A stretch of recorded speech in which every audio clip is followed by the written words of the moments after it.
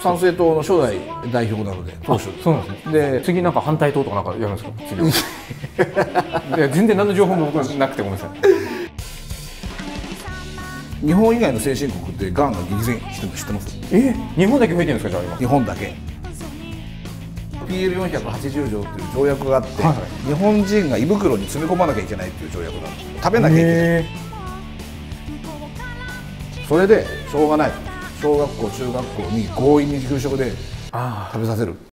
で日本人は植物性の油を取っちゃダメなんです。正しいと思った私のせいはい、みつろ TV をご覧の皆さん、僕は今日ですね、銀座にあります吉野先生のクリニックにお邪魔してます。はい。よろしくお願いします。よろしくお願いします。僕はあの初めての感覚を大切にしたくて、ええ。吉野先生の情報を事前にスタッフの方から入れられようとしたの全部ちょっとキャンセルして、とにかく回してくれともう、もう今本当まっさらな状態でして、で先生は診療後5分ぐらいですね。5分ぐらいですよね。はい私チャンネルいくつか持ってるんですけどチャンネルもいくつかあるんですか、それであの張さんという人と一緒にやってるのの月に1回やってるライブ配信があって私あの猫とか犬とか飼ってるの知ってます？あ、ごめんなさい、ちょっとわかんない。全部手作りですよね。え？ペディグリーチャムとか全く使わないほで僕大体なんとかの闇みたいなのすごいんですよ。この間はね、はい。ファイザーの歴史の闇っていうのをやったああ、もうファイザーとか YouTube 一番嫌いですからね。ね、だからもうこれ以上言うとバンされちゃうから言わないんですけど、はい。はい。すごいんですよやっぱり、はいはいでそれを4時間話すためには、は何日も前から作ってるんですが、やっぱ最後の日になるとダーってエネルギーが上がってくるから、38時間ぐらいは一秒も寝なかったの。え？でそれをだからこもうこの5日で2回やってるんです30代は週に2回から3回徹夜するのがルーティンでした十数年。先生今おおいくつかも分かってないけどす。みません。僕56です。ええそうなんですか？じゃあもうすぐ還暦なんですか？還暦です。あら還暦であらかん48時間寝ないでいけるんですか？いきます。ええリゲインの2倍ですね。ええリゲインの2倍。ええリゲインの2倍。ええリゲインの2倍ですね。すごいですね。もうそういう情報で覚えていかないと僕すみません。じゃあ僕の吉野先生の印象をまず話させてくださいね。あのまずいろんな方から吉野先生とコラボしてきてコラボしてくれてすごい来るんですね。あそうですかその中で、えっ、と実際にお会いした方からも来るんですけども、と日本のなんか聖地の中心みたいな場所が兵庫県にあって。ええ伊勢神宮と出雲大社のちょうど中間地点にある場所があるんですけども、それ縁があって3年前になぜか僕が引き継ぐことになってしまってなってしまってって言ったら失礼ですけどな,、なってで、まあ、そこをこういろいろ運営していかないといけないっていうことで、そこのホームページ作ることにしたんですね、はい。2年前かな、はい。その時にモデルのリサさんって方が来て、ん。そその方ももう先生つなぎたいって言ってくださってほで実際にお会いした人でももう34名が吉野先生つなぎたいってことで,、ん。でそこから僕吉野先生ってどんな人だろうっていろいろ調べて、で、まあ、僕なりの情報もですね、はいだとあの参政党を抜けた方っていう情報とごめんなさいいや僕なりの情報もです。と あとな何個かフェイスブックをあの今フォローしてるので、何個か記事読んだらものすごくこの食べ物とかにも詳しくて、で僕が好きなジャンルなんですよ、このナチュラルな食事とか、うん。あのそういう情報をずっとチェックしていて。なるほど。はい。でその吉野先生に前すき家橋で僕が散歩してたら出会ったからなるほど。東京って有名人普通に歩いてんだと思って。そのレベルのあれでごめんなさい犬飼ってることも知らず、んごご年齢もしてますだって内海先生もともと若いですよね。あまだ45ぐらいじゃないですか、うん、44とかぐらいだとえ44だと僕と一緒ですね。思う44ですか、内海先生いや僕よりは上なんで吉野先生多分。え44ではないですね多分、はあじゃあ吉野先生に僕ちょっと聞いてみたいことがいろいろありまして。どうぞどうぞいいですか、うん。えーっとなんか食べ物について、僕はあの娘がアトピーになって、ん。初めてこの代替医療の先生に連れて行って、そこがあの沖縄で一番有名な、ん。あのイレイハリキューインって言って、オーリングでパッパッパってやるんですよ。この食べ物は食べちゃダメいいよっていう、まあ、今でいうメタトロン的なことを人間ができるっていう、具合の悪い時はペッパーダメなんです。ペッパーダメなんだはいはい結局物がどんなに良くても体に合わないのね。で、近頃の梅干しはもうね、あの、うん、あの、昔と作り方が違うもんだから、結構ダメなんです。のこの食用上のツナとはい一般的なツナをはいはい。まず一般的なツナ、はいね一般的なツナもちろんなんでダメですよ。ねこれあんたは、うん、OK なんだけど、人には支障は。ツナの中でも、えっと、化学調味料を使っていないというツナ。でその時に初めて食べ物で治るんだってこと。はもう完璧に治ったんですね、うん。つるんと、ん。母親の食事を変えて、ん。娘赤ちゃんだったらこの顔もボロボロだったのが、治ったんですよ、うん。医者もびっくり、何したんだぐらいな感じで、ステロイドも塗らずに、ん。でそれから食事について自分の中でいろいろ分けていって、ん。でその入江先生のところで例えばこう食材を持っていくんですね、でじゃあこの子にこう触らせながら、何の食材がいいよってやっていく中で、ん。玉ねぎはいいけど人参がダメだったりした時に、うん僕なりには考えないといけないんですよね、こう科学的なことが好きなんで、なんで人参がダメなんだと、はいはいはい。でそこから調べていくとああなるほど硝酸体窒素っていうのがあるんだだとか、農薬よりも肥料の方がやばいんだだとか、F1 とかがあるんだ、でいろんなことを調べていって僕はあの月刊自然栽培っていう雑誌で執筆するまでに至りまして。あで僕のこと多分何も知らないと思うんですけども、あの本を書い作家なんですね、あのさっき読みました。あはははそうです。えっとプロフィールを。神様から出てくるやつあああささっき読んえ本を読んだんですか、あのあの Kindle で買って。え本ってこんなすぐ読めるんですか？僕速読できるので1時間で4冊ぐらい読みます。本職は医者なんですよね？24時間戦えます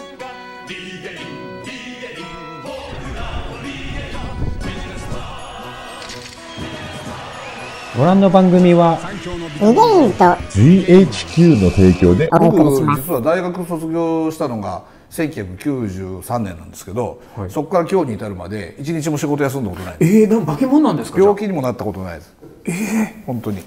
まあ、リなっゲたなったとしても絶対朝までに治してしまう。だから具合が悪いから休むとか体調が悪いから休むとかやったこと一えみん回もなないその秘訣知りたくてもたまらないんじゃないですかもう。いやそれはやっぱ食ですだからあ食なんですね。あじゃあいい話聞いたんだ僕たまたま、あだって僕らって飲んでる水と、はい。ね、吸ってる空気と食べてるものでできてるわけでしょ、ああそうですよだからその材料がそれだから、はい。で水と空気は平等でしょ？ほぼ、はいはい。空気はすごい綺麗ですよ日本は今は、私が子供の頃なんて高化学スモッグなんて当たり前だったし、川崎の喘息とか四日市喘息なんて公害訴訟をやってるとこぐらいだから、東京なんかもすごい汚かったし、だから今本当に綺麗で水もねその水道の問題って確かにあるけども沖縄なんかもね PFOS とかそんなのがあるって言ってるけど、でも水道の水が飲める国なんて世界で10カ国ぐらいしかないですよ、だからそういうこと考えたら、空気と水はもう絶対日本は世界一で一番。おおじゃあ大丈夫ですね、ん。で最後はもう食べ物だけじゃない食べ物だけでしょ、はい。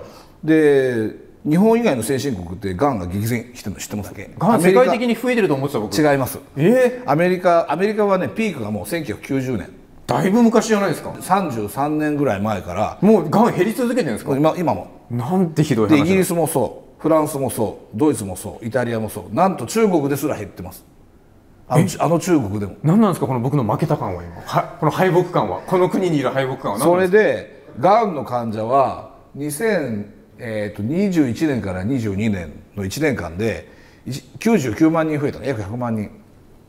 で医療費は1年間に8000億円ずつ増えてるの。ひどいでしょ？かひどいですよ、はい、誰を訴えればいいか今考えてます？だからもう食べ物が原因なの明らかですだからアトピーだって食べ物で治るでしょ？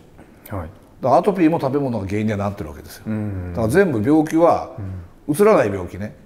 だから奥さんが例えばあの脳脳梗塞になったら旦那さんがうつって脳梗塞とかならないでしょ。なので脳梗塞は映らないですね。でがんもうつらないでしょ、はい。糖尿病もうつらないでしょ、はい。だからみんな食食事ですよ。ああなるほどね。だから自然食をもちろん食べるんだけども、基本食べないのは植物性の油は絶対取らない。だから油は植物性の油と動物性の油と魚の油があるでしょ。はいはで日本人は植物性の油を取っちゃダメなんです。い菜種油だろうが。ナタリ油だろうが、オリーブ油だろうが、米油だろうが取っちゃダメなの、油として取っちゃダメなの、米油ははい。玄米を食べれば入ってるでしょ。はい。大豆油は大豆を食べれば入ってるでしょ、はい。以上です。はい。うん。はい。以上で番組が 番組が今終わりました。えじゃじゃちょっと聞いていいですか？先生肌ツヤもめっちゃ綺麗でふっくらしてるんですけども、あの肉も魚肉も食べますか？肉も食べるし魚も食べるあ食べ沖縄の人だったら、はい。沖縄に何千年も住んでるわけじゃないですか、はい。でそこで取れるものを食べてるわけでしょ、はい。でそこで病気になる人たちは死んでいくわけでしょ、はい。適応した人たちだけが生きてるわけでしょ、はい。進化ですよねそれが。そう進化でしょ、はい。だから沖縄の人が食べるべき食材もちは違うし東京の人は東京だし日本の料理もそうだけど沖縄の料理もそうですけど精油してる油の料理ってないでしょ。うん。そうですね。わ我々は水が豊かな国に住んでるので油を作る必要がないんですよ。日本以外の国は水がないから仕方がないから油を作ってその油で流し込んで食べてるの、はう。ん、で日本は油を作る必要がないから現実に作ってないんです歴史的にも。ごま油だけがあるんだけどあれは全部石灯籠ですね石灯籠。の神社とかあのお寺とかねそういうところで明かりのために使ってたんで飲む飲んだり料理をしたりするためにはつく使った歴史がないのだから油取ってると病気になるんです。あ。じゃあ先生がいつごめんなさいもう僕のチャンネルの見てる人はもうパッパラパーしかいないんで、今今コメント欄も 大爆発ですけども 十分の読者を大事にしろよって今すごい大爆発ですけどだからまあまあまあ、パッパラパーって言いますけど、まあ、ちょっと知識が少ないので、そのやっぱり順番的に欲しいんですね。要するに一番吉野吉野先生吉野俊明先生そ吉野俊明が絶対にダメだと思うのに順番をちょっと合コンで欲しくてじゃあ最初やっぱ油っすね。最初は小麦粉ですね。あ小麦だったんですね、あなるほど。僕も小麦今ずっと抜いていて。小麦が一番小麦次が植物性の油ですね。小麦油ですね。はいはい、うん。なるほど。それで乳製品で砂糖。これだけ。これほらこれで4つでいい、うん。あいい極端な話ですよ、はいはい。化学物質が入っていたり、はい。多少農薬が入っていたりしたとしても、はい原則この4つを取ってなかったら、はい。大きい病気にならないです。よなんと。例えば化学調味料だったらそれこそ商品名で出しちゃうけど、味の素とかさ、はいはいはいはい。あの味塩とかあるでしょ、はい。ピー入れてください。だうんでそれを それをね、あのほらえダメだダメだってすごく言う人たちいるけども、はい。もちろん大量に取るのはよくないけども、はい。それを取ることよりも小麦を取ることの方がはるかにまずいです、なるほど、まあ、小麦というかグルテンでいいですかね。うん、ぐそう小麦っていうかグルテンね、腸壁を広げてしまって、そうそうそうそこから何でもかんでも入っていってリーキーガットになってしまうといなっちゃう。だからそれはグルテンは良くないですね。だそれこそ日本人はグルテンを取るって生活したことがないわけですよ。あのアメリカで最近リーキーガットの,、あの治療法は小麦立ちになってるんですよ。小麦立ちと,、えー、と白桃立ちっていうのがもうアメリカのリーキーガットの治し方になっていて、っていうのはリーキーガットになった人のこう腸に入れていくじゃないですか、内視鏡を入れていくと白くなってるんですよね、でこれ何かっていうと結局イーストのカビなんですよね、で腸の中にそのカビが生えているのをやめさせるためには単純にこのカビ菌たちにまず砂糖を与えないことと、で小麦でこの腸壁を広げないっていうことで、もうほぼほぼアメリカのその力学の治し方は小麦砂糖立ちってなってるのに、その通り。でも日本ではなぜかこの2つがある。でちょちょっと僕のチャンネルなんで、僕のパッパラパードもちょっと話ですけど 大炎上パート2ですけど。いいですか？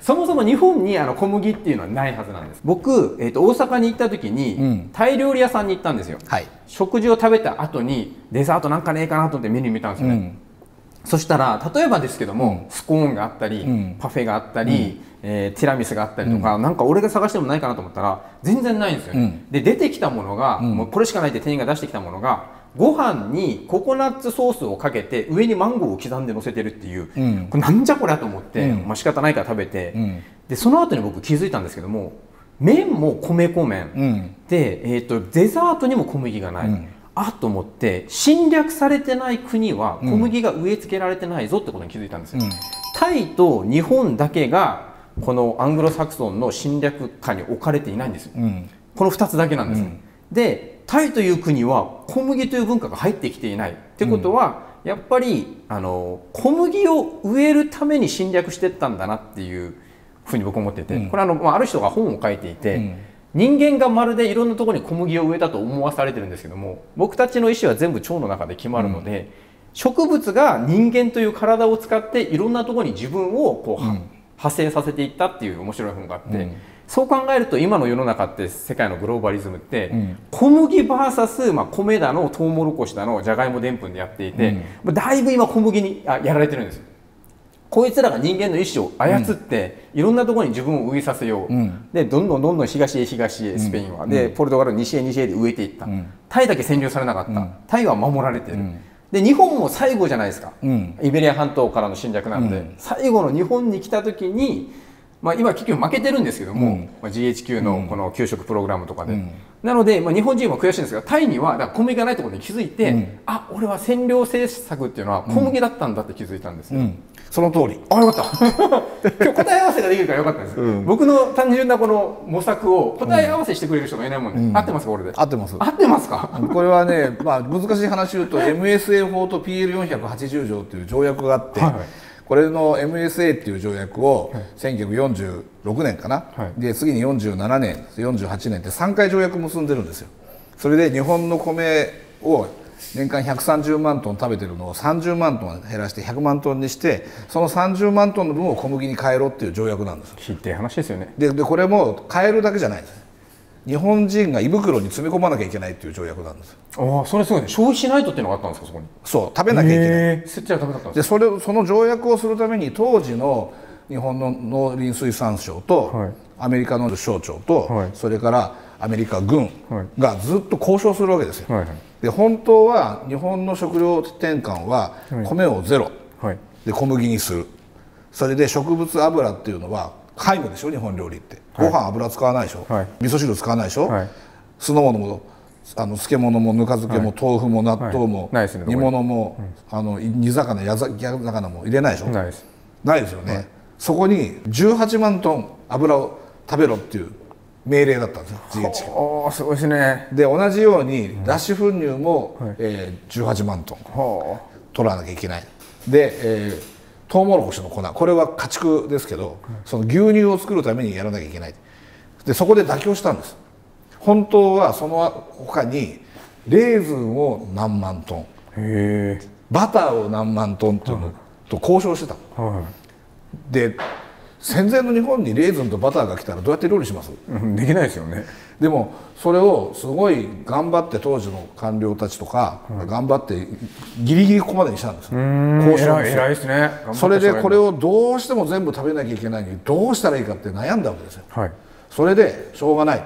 小学校中学校に強引に給食で食べさせる。じゃあ官僚が頑張って給食プログラムになったんですねそう。そうじゃないと日本人が全員食べさせられるプログラムだったのかもしれないいやだからもう僕のチャンネルで何回これ話してるんですけども、よくよく考えてください。僕たちは日本人の定義っていうのは腸の中に米由来の微生物光合成細菌か酵母菌か乳酸菌がいるというのが日本人の定義、まあ、医師っていうのはそうなんで、なのに僕たち敗戦したばっかりにあ小麦を売りたかったアメリカさんがまず子供の給食に与えなさいと、すると子供は小さい頃に覚えた味を大人になってもめっちゃ食べてくれるということで今無事に小麦大好き人間がいっぱい育ってると、で僕1980年生まれですけども、僕の頃ですら米飯禁止っていう意味わかんない日本国人なのに、米飯給食禁止ですよ。うんそうでして僕もだから給食は全部パンでしたよ。まずいあの揚げパンが入って揚げパンとか。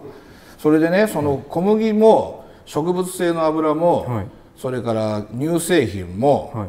えー甘いものも4つともあの三角の牛乳のまずいの覚えてます？覚えてますよ。であれこんなまずいあのこれは全部振らないと下にちょっと白いのが溜まってこうやってこうやって飲んでたあのくっそまずいのありそうだましたねだそれもみんな脳の快力報酬系って言って、覚醒剤が入る回路に入る食べ物なんですよ、はいはい。だから絶対に依存症になるもう頭いいですね権力者は。だからそれをちゃんと計算してやってるんですよ、でこの話も僕もいろんなところで言うといやそんなそこまでやってないですよ。要するに余ったものを日本に買わせただけでしょって言ってるんだけどそんなバカじゃないですやつらは。いやもう50年先どころか200年先とか500年先計算してる。うんそれでやってますまあ、僕のチャンネルの話で言うとその計算のもとは全部でも腸の中ってことになっているので、そのアングロサクソンたちの悪い人たちがなんかいるんではなくてその人たちの腸を支配した微生物がそういうふうに意思命令を出していると思っているので、まあ、脳で意思なんて生まれないって今分かってるので。食べ物を変えるとだから性格も変わるし感情も変わるし、あの今だから日本人が日本人じゃない感情になってる、ああそういうことか、うん、だから人格改造プログラムとして給食作ったんです。恐ろしいですね。